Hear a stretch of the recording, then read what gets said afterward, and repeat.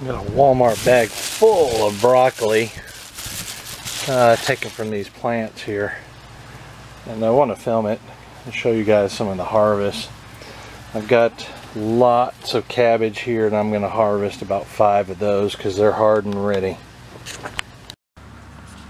Look pretty drastic but they were ready. So the other waterculture bed has different varieties and it. it's got uh, discovery cabbage which has taken a good bit longer it seems. And it's got that um, Packman kohlrabi I think it was Winter was the name of the kohlrabi um, variety cultivar. But those crossed evidently one year so I'm getting some unusual growth with growth with that.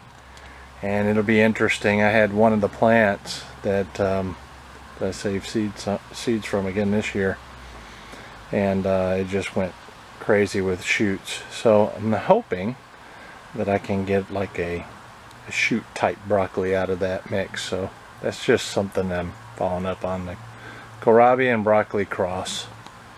That's all of them.